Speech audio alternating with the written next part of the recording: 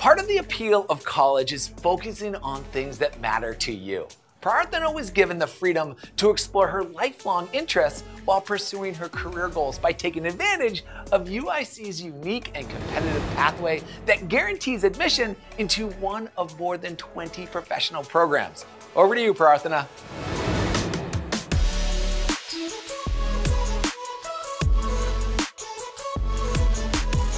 Thanks, Alex. Hey, everyone. Education has always been a priority in my family. I knew I wanted a college that would help me explore different academics, research opportunities, and my artistic interests. Because I found a program that has already guaranteed me a seat in the medical school, I can explore it all. Here at UIC, I'm combining math and computer science with my pre-med studies.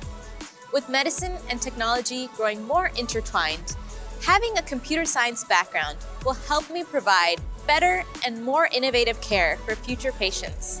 UIC's emphasis on experiential learning encouraged me to get involved in research, even as a first-year undergraduate. In fact, I'm part of a team studying how nutrients can impact the response of specific chemotherapy drugs on cancer cells. Conducting benchwork and working with other driven students and faculty researchers has taught me focus, patience, and persistence, with the underlying drive for discovery. UIC does a great job supporting student research.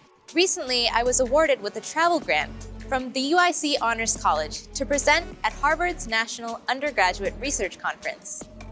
But I'm not always studying.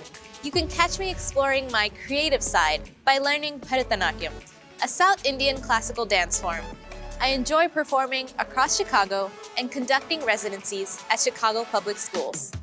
On campus, I'm part of Downtown Voices, the premier a cappella team. We enjoy singing at performances, UIC sports events, and even at an occasional Cubs game. I could not have asked for a better college experience. I've been able to explore each and every one of my interests in the beautiful heart of the city of Chicago. I can't wait to continue my future education at the College of Medicine, integrating my research background with patient care. That's all from me. Back to you, Alex.